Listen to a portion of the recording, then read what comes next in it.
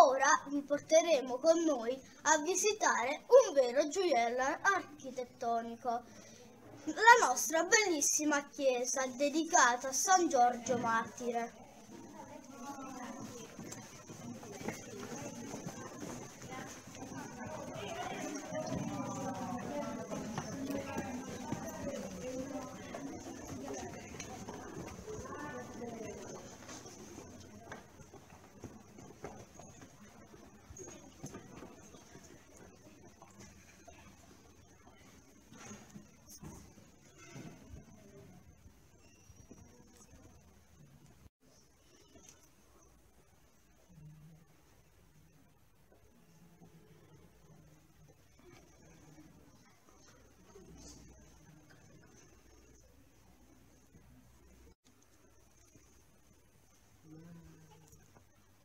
La chiesa, in stile romanico, è dedicata a San Giorgio Martire, il patrono di Petrella. Risale al XII secolo e nel 1901 è stata dichiarata monumento nazionale. È un importante complesso architettonico costituito da tre monumenti incastonati l'uno nell'altro e di epoche diverse, un tempio bizantino, uno longobardo e uno romanico. Sul portale centrale, nella lunetta,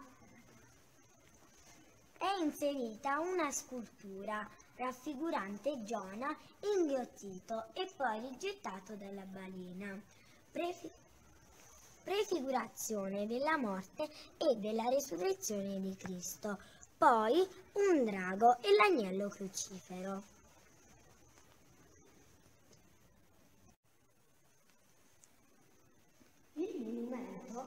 Si presenta in forma di parallelogramma. I lati maggiori sono doppi dei minori. La lunghezza è di 30 metri e la larghezza di 15. L'interno si presenta a tre navate, chiuse in fondo da tre absidi disuguali, di cui la centrale è molto più ampia delle laterali.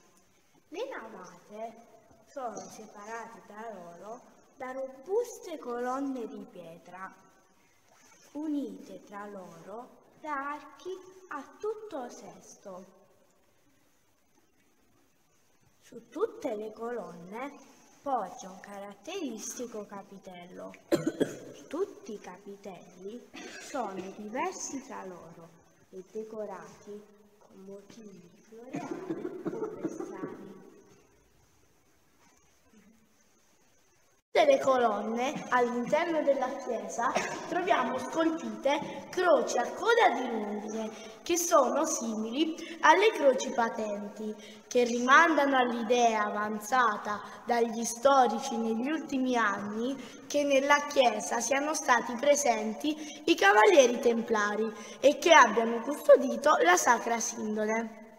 Il capitello riproduce un mascherone tra foglie e fiori, con un'enorme bocca dai denti aguzzi e digrignanti. Secondo la tradizione storica classica, raffigura il marino abboato o addirittura la stessa bocca dell'inverno.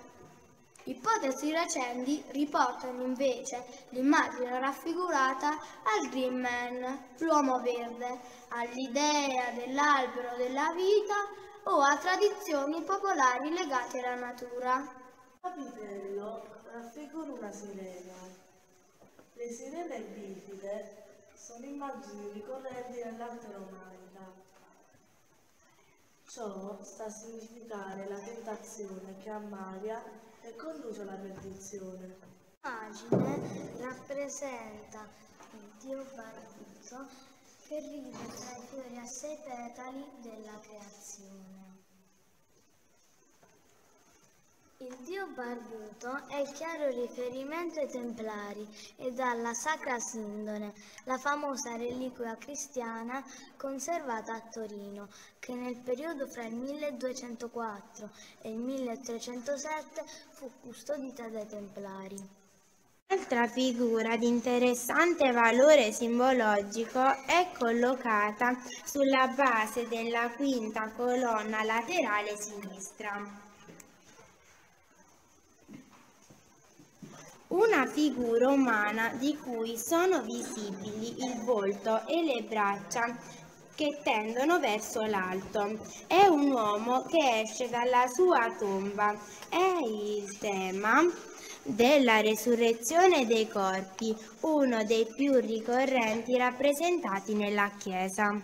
Elemento di pregio è il fonte battesimale, emisferico lavorato in un unico blocco di pietra con apertura interna di circa un metro di diametro.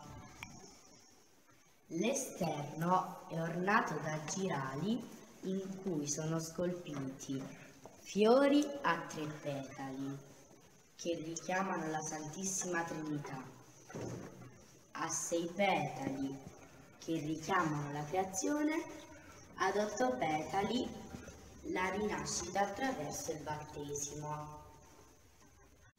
Del tempetto longobardo non rimangono che delle labilissime tracce. È attualmente esistente solo il lato meridionale, posto nel cortile interno della chiesa. Fu dedicato originariamente a San Michele Arcangelo e successivamente alla Beata Vergine del Rosario e reso comunicante con l'interno della chiesa parrocchiale.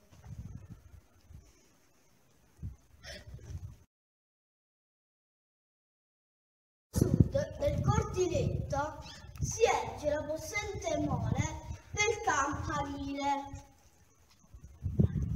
Sono presenti quattro campane, una maggiore o di San Giorgio che pesa 1500 kg e ha un diametro di 119 cm.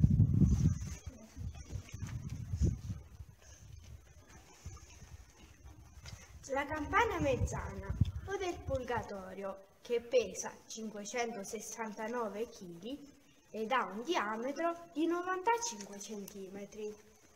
La campana media che pesa 55 kg ed ha un diametro di 45 cm.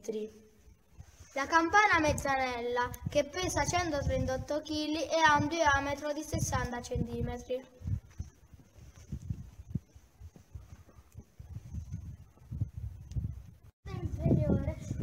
addossata alla chiesa tra l'abside e la sacrestia, con ingresso su una piccola piazzetta denominata anticamente Largo della Chiesa.